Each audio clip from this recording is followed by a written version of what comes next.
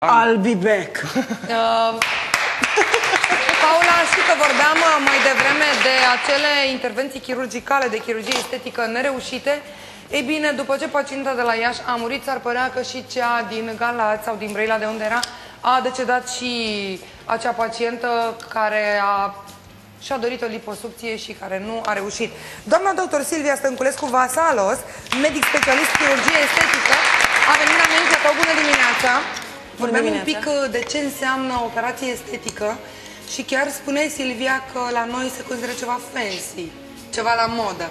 microfonul. Nu, specialitatea este considerată fancy, să spun așa, și din păcate nu toate pacientele care își doresc genul ăsta de intervenție uh, realizează că este o intervenție chirurgicală.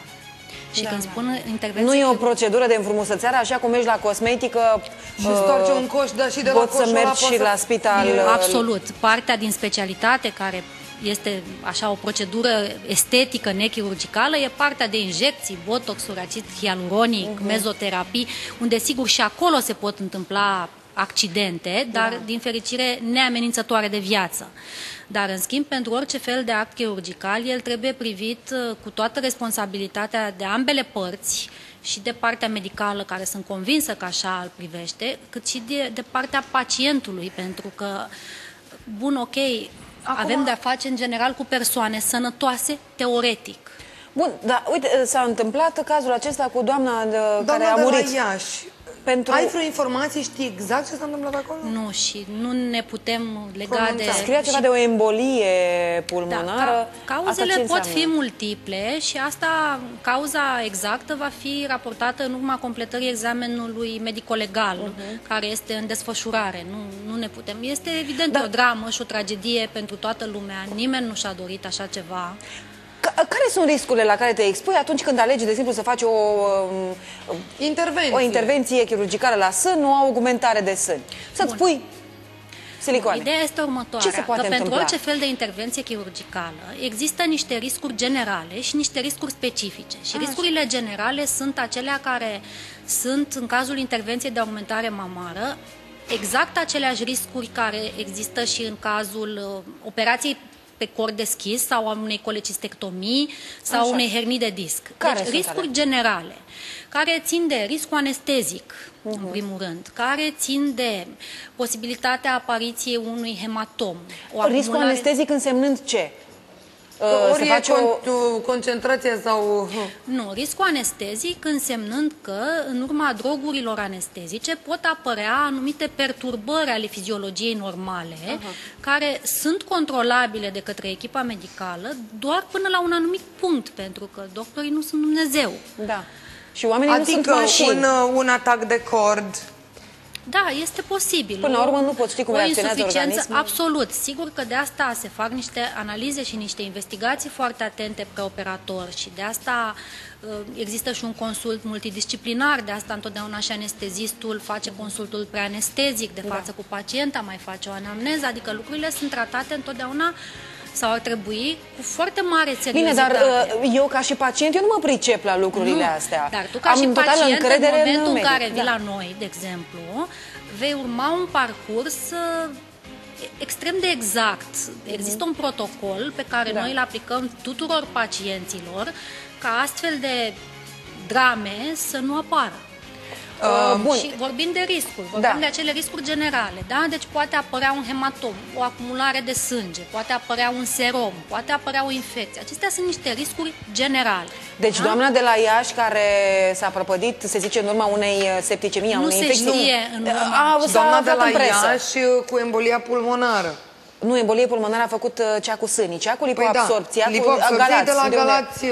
uh în presă s-a spus că ar fi vorba de o infecție generalizată. Pentru că i-a fost perforat uh, intestinul dacă într-adevăr a fost... Cu acea sondă de pe, lipoabsorpție. Cu canula. Cu canula, pardon. Dacă într-adevăr a existat această perforație și nu putem ști dacă a existat, aceasta va fi certificată doar în urma examenului, examenului medico-legal, uh -huh. da, din nefericire, asta se produce atunci când se perforează intestinul, colonul mai ales. Da, bine. Cum, ca, ca să o luăm băbește, pentru că noi suntem uh, potențial pacienți, nu, cu toții, și suntem telespectatori. Noi nu știm uh, vocabular medical, nu avem. Cum adică i-a perforat intestinul? Lipoabsorpția se face la primul strat de grăsime. Cum e posibil? N-au fi simțit... Uh, Așa, neoficial, că știu că nu, ne, nu vă puteți pronunța odată ce nu, nu știți. Absolut, nimeni nu se poate pronunța și vă dați seama că această dramă este, nu și-a dorit-o nimeni. Nici medicul, Evident nici... că medicul care a realizat această intervenție a intrat în sală cu cele mai bune intenții. intenții și cu dorința ca pacienta să fie sănătoasă și mulțumită, să arate bine. Se poate înscrie la categoria accidentelor nefericite, pe care sigur că nimeni nu și le dorește. Accident dar... de 20 și ceva de perforări? Da. Bun, acum ă, ă, trebuie știut următorul lucru, că lipoaspirația este ceea ce numim noi o manevră în orb. Respectiv, Aha. respectiv ă, prin niște incizii foarte mici se introduc canulele de infiltrație, depinde de tehnică, da. canulele de aspirație vorbind, da? și ele sunt dirijate cu o mână și cu cealaltă mână întotdeauna noi palpăm stratul de grăsime, uh-huh. dirijăm vârful canulei, simțim în ce zonă este canula și... Da. Acum, acesta este principiul. Lipoaspirația practic presupune că se extrage o anumită cantitate de grăsime cu ajutorul unor canule, care aceste canule au mai diverse principii de funcționare. Da? Unele acționează pe ultrasunete, unele, așa zisul, sistem laser, unele vibrolipoaspirația, care prezintă o, o mișcare de nutație. Și există și acelea, aparatele acelea de tip mai vechi, care practic sunt propulsate de către forța mecanică a chirurgului. Uh-huh. Da? Cum vedeau și veneau multe paciente care vin și îmi spun, a, doamna doctor, vreau să fac o lipoaspirație, dar sper că nu e cum am văzut eu pe Discovery, vânătăi, când cu... chirurgul transpiră. Uh-huh. Vânătăi, în general, pot sunt. apărea și sunt normale în cursul evoluției. Dar te referai la mișcările La mișcările acelea, când, exact, când îl vezi pe doctor că transpiră depune un efort, și uh, depune un efort fizic, fizic considerabil da. și sigur că dacă există o aparatură de tip mai vechi de genul acestea, poate interveni din nefericire și factorul oboselii umane. Pentru că în momentul în care ești, mă rog, nu e puizat, dar extrem de obosit, uh, capacitatea ta de concentrare către zone mai fine ale problemei, uh-huh. de a simți, de a palpa, mai scade. Plus de asta... Nu putea simți musculatura? Este foarte greu de schimb. Evident că într-o oarecare măsură se poate, dar așa cum v-am spus, este o manevră în orb și nu putem ști ce a fost de fapt acolo.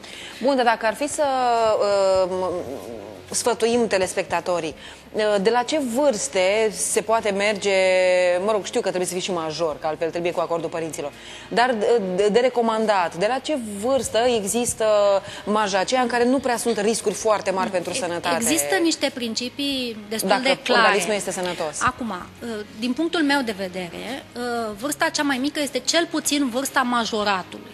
Acum, Sigur, uh, nu toți avem capacitatea, mai ales cei de vârsta noastră, dacă ne gândim în urmă cum eram la 18 ani și cât de inteligente au fost multe dintre deciziile pe care le-am luat atunci, uh, poate că acum, cu mintea de acum, le-am da. luat altfel. Uh-huh. Da?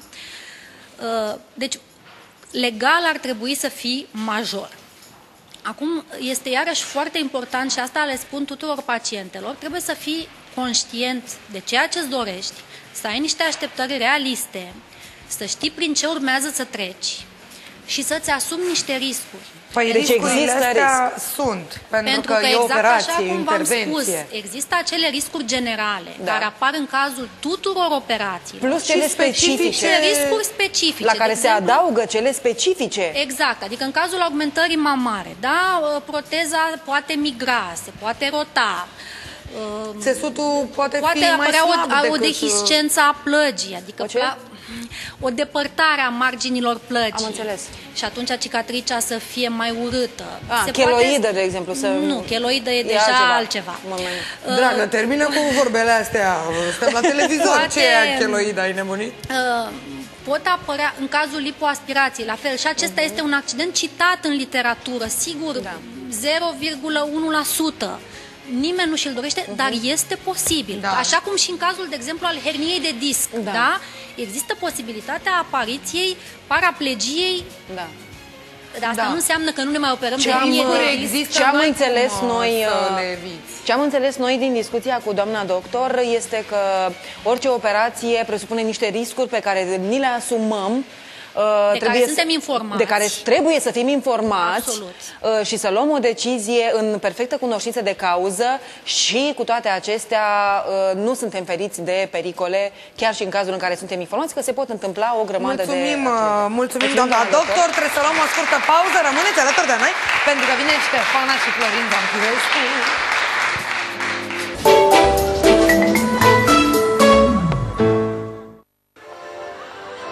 Uite, carusel! Hai să vedem care strigă mai tare!